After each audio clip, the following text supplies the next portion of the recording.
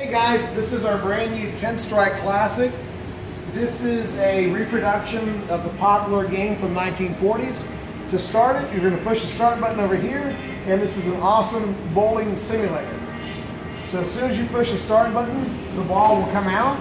You can maneuver the man wherever you want him to go, and once you do the other lever on the right, it'll shoot the ball down.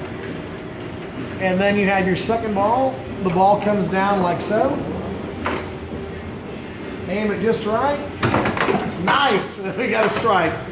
It adds your score digitally. You also have your original mechanical chimes like back in the old days.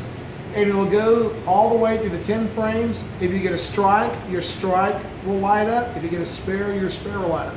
This is a fantastic game for rentals and different parties.